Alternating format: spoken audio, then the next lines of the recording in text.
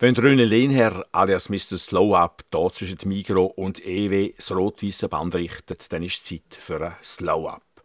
Dermal der 13. Slow Up Königswetter, nachdem es dreimal geregnet hat. Und dann stehen sie alle da, die gewählten Volksvertreterinnen und Vertreter, natürlich mit dem Velo, mit Sonnenbrille, mit Helm. Für Niki ist es wahrscheinlich der erste offizielle Slow-Up hier am ersten Glied, eben als gewählter Gemeindepräsident. Die anderen ja, sind alle in Reihe und Glied gestanden und haben gewartet, bis die Kirchenuhr endlich die Zähne geschlagen hat. Und dann ist es so gewesen, das Band verschnitten und dann ist es losgegangen. Die gesamte Strecke, dann Richtung Wartau, Lichtenschreiber und Gell, sind Wald wieder zurück daher 44 Kilometer. Aber natürlich kann man auch ganz andere Strecken wählen. Die Velowege, die man es kennt, die bleiben ja auch an dem Tag nicht verschlossen.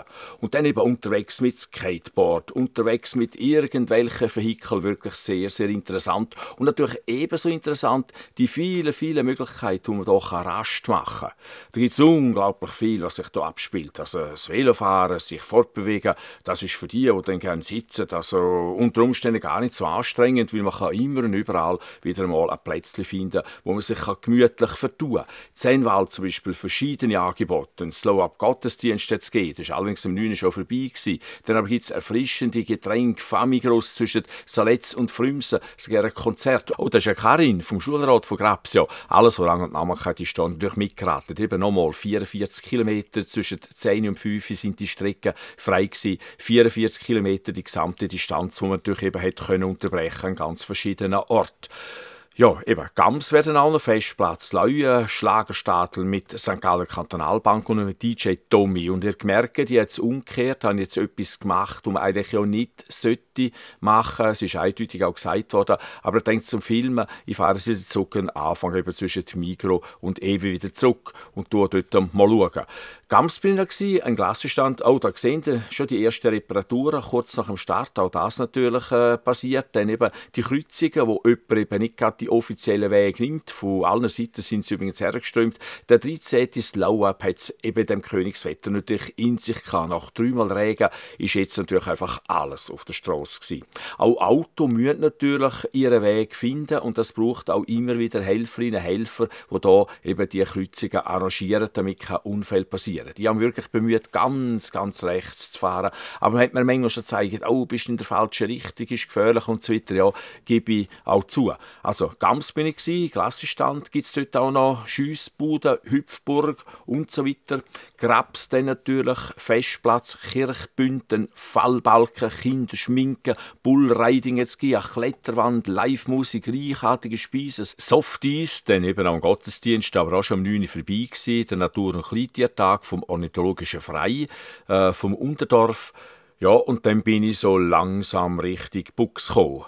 Slow-Up Eröffnung war da. Äh, Im Programm ist gestanden 39, es ist aber dann wirklich erst um 10 Uhr losgegangen, eben mit einer Sportungsgarage, E-Bike-Test, Rivelle, Fotostation Hüpfburg, Kantonalbank, Zwicken, Bewegungsparkour, Pflegeheim Werdenberg ist dort, Rent-a-Bike, Biker Macaroni, Slow-Up Appetit, Gericht, schweizerisches Rote Kreuz. Habe ich Spitex schon gesagt, auf jeden Fall ein Haufen, Haufen Aktivitäten. Ich bin hergesteuert zu einem Mobil, das mich speziell interessiert hat, zum Urs Schwendender von HCP und habe ihn so ein bisschen befragt. Urs Schwendender, wo hockst du da drauf? Ist gut, also ich hocke da auf unserem E-Tri-Bike, äh, wir entwickelt haben. Äh, da gibt es verschiedene Ausführungen. Das speziell ist äh, zum äh, Leute transportieren in Rollstühlen ausfahren und so weiter. Da haben wir verschiedene, äh, verschiedene Anwendungen. Eine Anwendung sehen wir da hinten. Das ist zum Beispiel da mit der, mit der Box vorne dran, wo man für Sport oder auch Arbeit und so weiter, Schaufeln, Pickel, Zeug kann transportieren Und ein Kindersitz drauf dort, he? Genau, die andere Anwendung wäre einfach eine Art wie eine Ritschke, so ähnlich. Da kann man einen Sitz, zwei Sitz, man kann Sitzbank drauf tun, man kann Kindersitz drauf. Das sind einfach so so Ideen, die man kennt, die man für Altersheim und so weiter brauchen könnte. Und dann kannst du das alles an das Vehikel hermachen, da? Genau, das wären jetzt einfach verschiedene Ausführungen, es gibt verschiedene Einbauten. Jetzt das ist mit der Rampe momentan eben wie gesagt für Rollstühle. Äh, da können wir einfach die Rampen auswechseln, kann eines von denen hier tun. Ja, oder man kann so umbauen, das geht auch, dass man zwei, drei Varianten selber gibt. Natürlich sind wir offen für Neues, also Spezialausführungen ist alles kein Problem. Batterie hat es keine, gell? Mal mal hinten dran. Wobei, das ist der Prototyp, den wir hier jetzt gerade sehen. Die Batterie das ändert noch ein bisschen, es kommt nachher unter einen Gepäckträger. Eine Reichweite haben wir von ca. 100 km. Kann man da noch drauf sitzen oder kann man noch treten? Könntest du jetzt fahren? Ist Dreh unterstützt. Probieren wir schnell ein paar Schritte. Jetzt sollen wir mal schauen, was du kannst. Herrgott, nochmal. Zum Anfahren. Zuerst mal einschalten wäre. Genau. Hoi, schau jetzt, jetzt aber, jetzt Idee. aber. Ja, Urs, dann könnte man die hier mieten, oder nicht? Ja, sicher, kein Problem. Hä? Und ist mit der Wendung, Wendbarkeit gut? Ja, Der Retourgang ist noch in Entwicklung. Das kommt dann bei den schlussendlichen Ausführungen, würden wir hier einen Retourgang haben.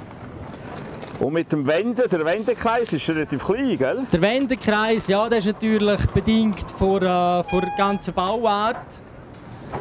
Beim Wendekreis sind wir so in etwa einem Radius von 4-5 Meter, irgendwie so. Jetzt hast du so vorne einen Rollstuhl drauf, dann hinten da hast du zwei andere Sachen, gell, die du kannst her tun. Also sehr multifunktionell äh, Ja, ja, es ist hä? so aufgebaut, dass man wirklich verschiedenes Zeug machen kann, dass man hinten drauf Taschen her tun, Säcke her tun und so weiter. Anhängerkupplung, dass man noch Kind und Kinderanhänger hinten dran tun, ist alles vorgesehen so. Das ist ein Prototyp, Kosten schon eruiert. Das ist ein Prototyp, also Kosten würden schlussendlich so circa bei 8000 Franken liegen. Das ist Plus, minus. ungefähr äh, so, wie man so ein E-Bike äh, dann kennt, da ist der Zusatz dann noch drauf vorne. Gell? Genau, genau. Ist die Lenkung irgendwie servo unterstützt? Oder? Nein, ist nicht servo unterstützt. Der Dämpfer, den wir haben, ist ein Lenkungsdämpfer. ist einfach, dass die Vibrationen und Schläge aufnimmt.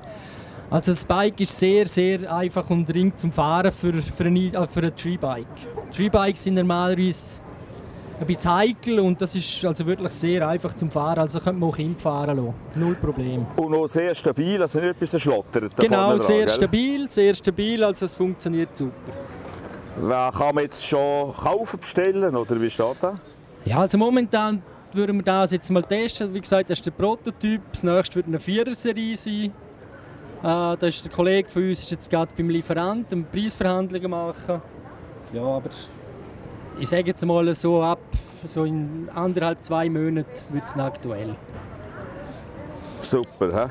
Und dann den Aufsatz kann man dann individuell wählen oder sogar natürlich auch nachträglich ähm, ja, auswechseln, oder? Ganz genau, also da kann man. Da reden wir mit den Leuten und die können sagen, wie sie das wollen. Das gleiche schon mit der Rampenhöhe. Die Rampe ist jetzt relativ tief, das ist eher für schwere Personen. Wenn ich natürlich leichtere Personen habe, kann ich die Rampe höher nehmen. Dann kann man, wenn es uneben ist, kommt man relativ gut durch. Das ist jetzt einfach so gemacht, dass ich über den Randstein komme. Ja. Was für Probleme gibt es noch? Jetzt, so? Ja, also das grösste Problem ist meistens die Zeit. Man hat fast keine Zeit, um so etwas zu entwickeln. Ja, jetzt warten wir mal ab, bis wir die Testphase hinter uns haben mit dem Prototyp. Aber wie gesagt, es wird etwa einen Monat sein, dass wir das abgeschlossen haben. Das ist eben auch Slow Up. Erfahren, was es alles Neues gibt auf dem Markt. Erfahren auch, was man eben mit dem Rad so alles machen kann. Man kann ja ungeheuer viel mit dem Velo machen und müsste eigentlich die Straßen, die sonst ja extrem gefüllt sind, gar nicht so mit Auto füllen. Gut, dann Seewala habe ich noch vergessen. Beat Sport hat natürlich etwas angeboten. Dann Ranz natürlich, Bärlauch, Spaghetti, Birchenmüsli und so weiter. Ranz ist immer sehr, sehr aktiv, sogar wenn es regnet. Also, die sind immer sehr aktiv gewesen. Seewala, Feltur und Ochsen, Seewala Spezialitäten, Shakerbike von der St. Galler Kantonalbank. Also, die St. Galler Kantonalbank scheint wirklich eine Velobank zu sein. Mal mindestens hier beim Slow Up. Ja.